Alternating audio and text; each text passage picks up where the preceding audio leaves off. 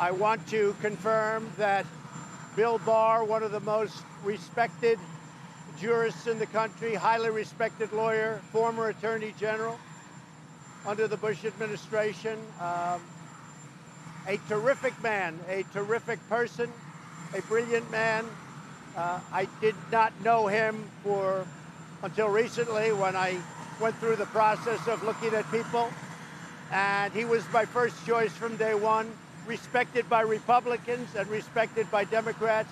He will be nominated for the United States Attorney General, and hopefully that process will go very quickly. And I think it will go very quickly, and I've seen very good things about him even over the last day or so when people thought that it might be Bill Barr. So Bill Barr will be nominated for the United States Attorney General position. I think he will serve with great distinction.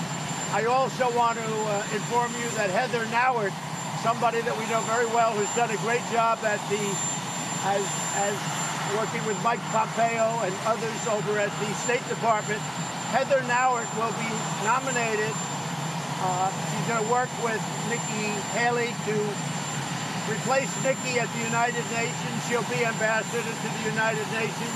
She's very talented, very smart, very quick, and I think she's going to be respected by all. So Heather Nauert will be nominated for the ambassador to the United Nations. Those are two very big ones. I have another one for uh, tomorrow that I'm going to be announcing at the Army-Navy game. Uh, I can give you a, a little hint. It will have to do with the Joint Chiefs of Staff and succession. And uh, I look forward to telling you, and I'll see you later. I'll see you in Kansas.